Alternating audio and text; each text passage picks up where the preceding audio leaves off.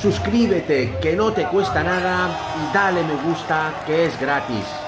Antes de empezar, no te olvides de darle me gusta, pulsar el dedito de arriba, que no te va a costar nada, es totalmente gratis para que este vídeo llegue a más culés como tú.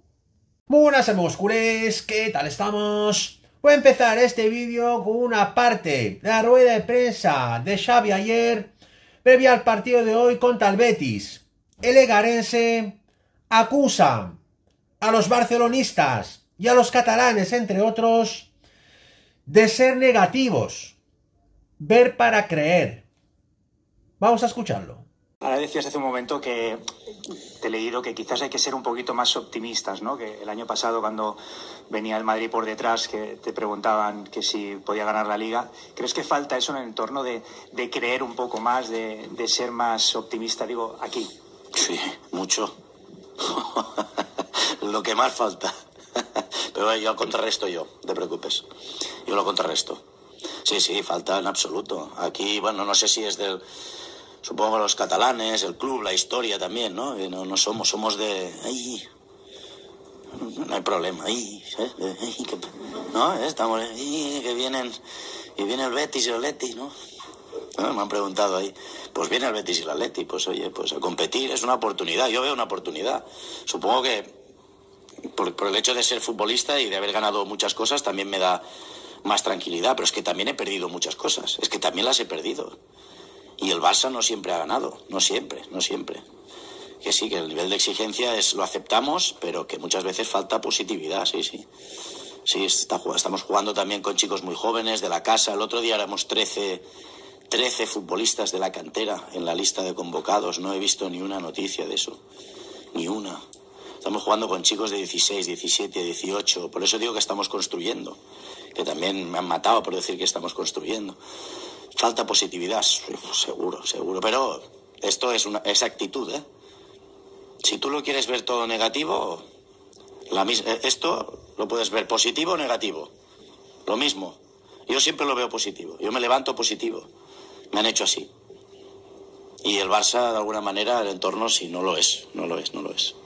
Pero no hay problema. Dentro estamos positivos pensando que podemos conseguir cosas esta temporada y, y, lucharemos. Y si no, pues lo habremos intentado. El fracaso sería no intentarlo. Lo intentaremos. Flipante, ¿no? El Barça se gasta 300 millones en fichajes y Xavi sigue diciendo que estamos en construcción. Vamos a escuchar ahora lo que dicen algunos periodistas de la situación del Barça. Retratan claramente a Xavi. No somos negativos somos más bien realistas. Muy importante. Vamos a escucharlo. Víctor Roque, ¿vosotros haríais o le daríais minutos a Víctor Roque hoy frente a unionistas? Yo lo tengo claro, yo sí. Es más, yo lo haría jugar de titular. Claro, es que estamos hablando de un partido que en otras circunstancias jugarían los cuatro futbolistas que permite la ley del filial, que pueden jugar hasta cuatro futbolistas durante el partido, pueden estar juntos en el campo cuatro futbolistas del Barça Athletic, con ficha del filial, y jugadores menos habituales.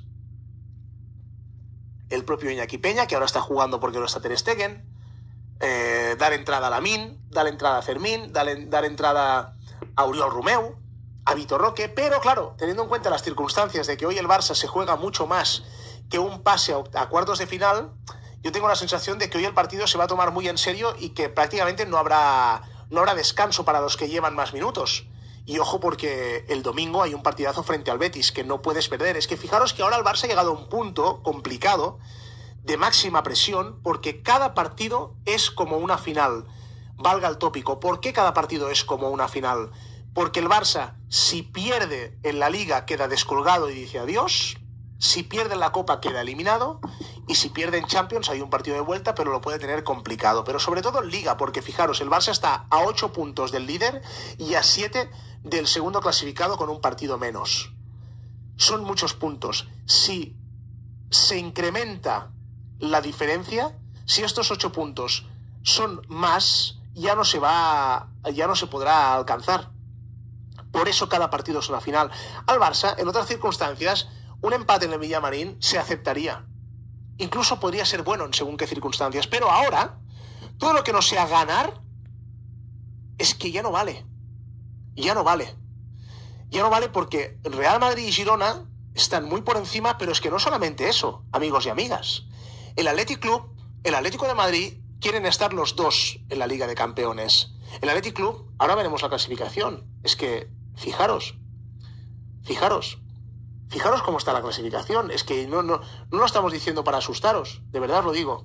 Fijaros cómo está la clasificación de Primera División. El Athletic Club tiene 41 puntos y el Atlético de Madrid 38. Si estos dos equipos van ganando, al Barça se le podría complicar incluso la participación en Champions, que a día de hoy yo diría que es el objetivo principal del Fútbol Club Barcelona. Afianzar la Liga de Campeones, las posiciones de Liga de Campeones, porque hay equipos, la Real Sociedad sí que se ha descolgado un poquito más, porque está a 6 del quinto clasificado y está a 9 puntos ya de la Champions, pero al final estamos hablando de cinco equipos por cuatro posiciones y yo no descartaría ninguno de esos cuatro equipos. Si estuviéramos hablando de que hay cuatro equipos bastante bien posicionados y después el quinto y el sexto están muy lejos, diría, bueno, va, es que entre esos cuatro se van a disputar las cuatro primeras posiciones y el orden ya lo veremos. Pero es que habiendo entrado ya un quinto en la terna y además un quinto que se lo cree, como es el Athletic Club, que además no juega competición europea, pues ya lo tienes ya lo tienes. Así que lo importante es ir sumando, a ver si te alcanza para ganar la liga, ¿por qué no? Para optar a ser campeón de liga. Y sobre todo, por afianzar en la temporada que viene ir a Liga de Campeones. Porque al final, ganando la Copa del Rey, clasificado para Champions y haciendo un papel digno en la Champions, podríamos decir que después de lo que ha pasado esta temporada, pues muchos ya lo firmaríamos. Muchos ya lo firmaríamos. Papel digno en Champions me refiero. Llegar hasta cuartos o semifinales y haciendo un buen papel, porque llevamos una etapa de ridículos en Europa considerable, no solamente en Champions, donde ya no hace falta recordar, pero lo vamos a recordar. Roma, Liverpool, y después también quedado eliminado durante dos temporadas consecutivas de la fase de grupos, cayendo frente al Eintracht en Europa League en cuartos, cayendo frente al Manchester United en 16 avos de final la temporada pasada. O sea, el Barça en Europa tiene que, como mínimo, clasificarse a cuartos de final y si toca un equipo grande que es superior a ti, no hacer el ridículo. Eso es lo que le pedimos a Xavi y a ese equipo que tiene que competir. El, ah, bueno, ostras, es verdad, amigo, amigo La Torre TDG. El, el 2 a 8 frente al Bayern, que me lo estaba dejando porque he querido olvidarlo, pero, pero ahí está. O sea que, cuidado. Está claro que los culés no somos negativos, como afirma Xavi, sino más bien realistas. Y ahora sigamos con el temazo principal. Bombazo de última hora. Una fuente deportiva muy importante. Informa que Jorge Méndez acaba de ofrecer a José Mourinho para entrenar al Barcelona. La misma fuente asegura que si el Barça no gana hoy contra el Betis en el Benito Villamarín, existe una gran posibilidad de que José Mourinho sea el nuevo entrenador del Barça. Y la misma fuente va más, afirma que parte de la cúpula del Barça ve con buenos ojos que José Mourinho, que por cierto hoy está en Barcelona, sea el nuevo entrenador del Barça si Xavi pierde hoy contra el Betis en el Benito Villamarín. Estaremos atentos a los acontecimientos. Esta ha sido mi grandísima noticia de hoy, amigos culés. No os olvidéis suscribirse a mi canal, que no os cuesta nada.